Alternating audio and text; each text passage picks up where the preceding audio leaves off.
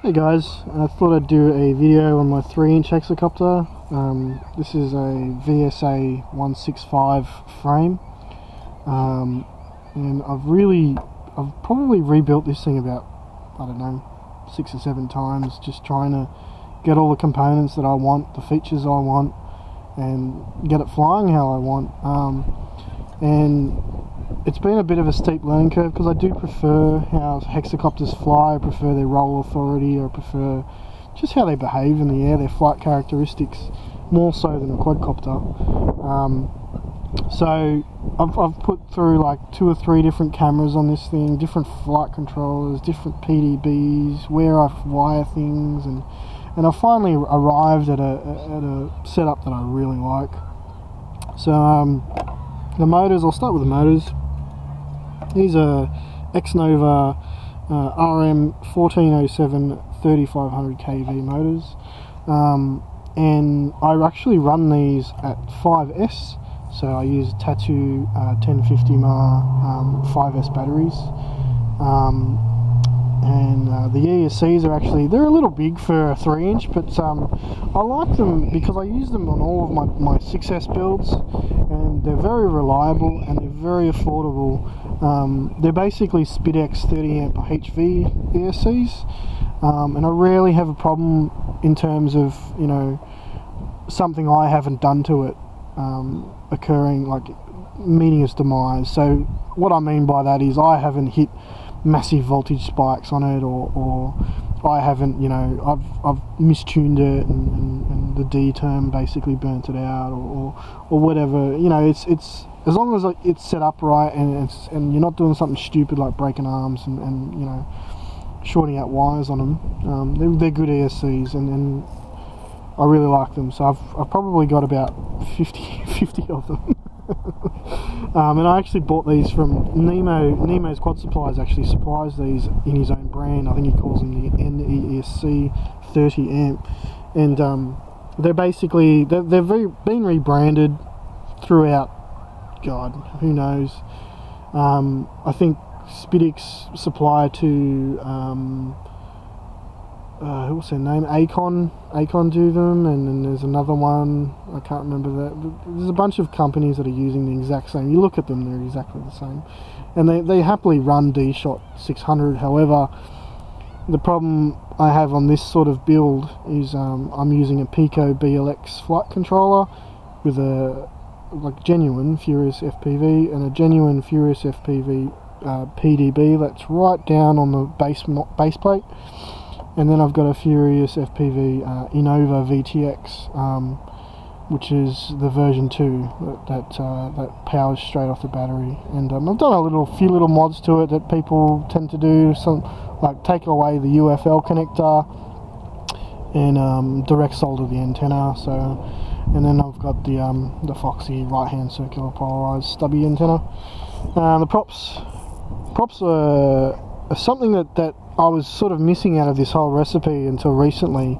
I just couldn't find a good prop that was efficient, that had power at low end and had power at top end um, for what I liked. And these are these are HQ 3030 by 3 um, props, and they're, they're, they're really nice. I mean, you, you hear guys like Kebab FPV talk about like flex profiles and whatnot, and these in the 3 inch class have some of the best like I think some of the best flex profiles.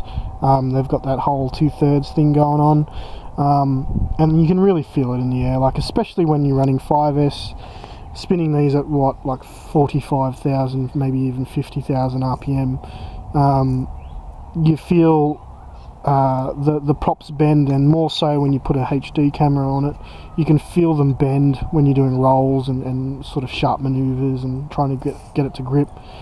Um, and a recent addition that I've put on is, is this um, Runcam Mini, and I really like the new line of cameras, how they're all coming out smaller and um, and still retaining that, that you know great you know CCD um, image. Um, which is still tunable, um, which I, I, just I freaking love it.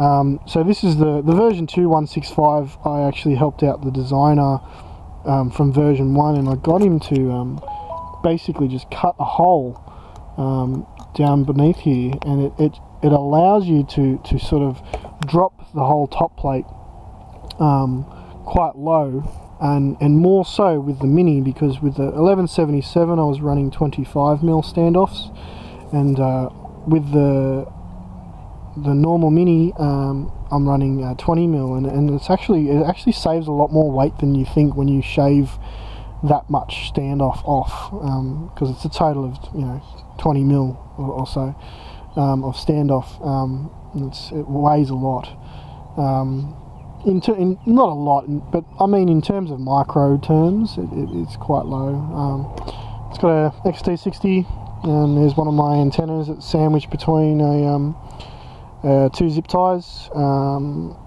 and uh, heat shrinked, and then I've got another antenna over here that's in an antenna tube. Um, um, and yeah, this is just your standard, you know, GoPro TPU mount. But uh, I, I, tend to use this with my Cam 3 which is what I'm recording with right now.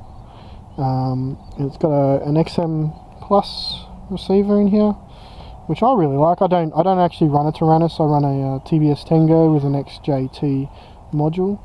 Um, so I still do use FrSky protocol or FrSky protocol. Um, however I don't have I don't have as much telemetry available to me as um, as a, a, regular Taranis user. So the way I get around that is, is by, by use of uh, OSDs and in, in essence the end result is you, you end up with a, a display on the controller um, that is very much like telemetry. So you've got you know your voltage, your, your amperage, and, and, whatnot. The only thing that's really lacking is is the ability to speak to you, um, which I don't really need. I, I, respond more to visual, I guess. I guess that's a personal thing. Um, but yeah, that's my um, my three inch build. Just a few other little details. It's um, I run all four motor screws for each motor. Um, I don't really like the whole idea of using two. Um, I use uh, dual lock on my for mounting my battery, and I've kind of come up with this weird system. I guess it's weird. Um, for it's unique to hexacopters. so you sort of zip tie your battery strap around arms five and six, and um, that allows you to to get a good cinch down. And it also tends to um, break less battery straps this way. I found because you're not wrapping around carbon fiber, and and these zip ties tend to have a little bit of give. So. Um, it's a really, really robust system, and it has a has enough give to be um, strong and it has enough strength to keep your battery in here when you you cartwheel at you know 100 k's an hour. Um, yeah, that's that's my my uh, three inch hexacopter. Um, I'm really happy with it. I'm really happy with the build, and I'm actually in the process of building a second one. That's how much I like it, and I'd I'd really like to get into racing this thing. It really it handles amazingly. Um, it has a lot of power, and I suspect it has a lot more, or not a lot more, but slightly more power than your average uh, 5 inch quad um, just quite simply because it's running at 5S and it's got so much KV um, but yeah thanks for watching. Uh, leave a comment if you'd like to ask any questions or, or have any critiques. I'm open to critiques. Um, and yeah thanks for watching. Bye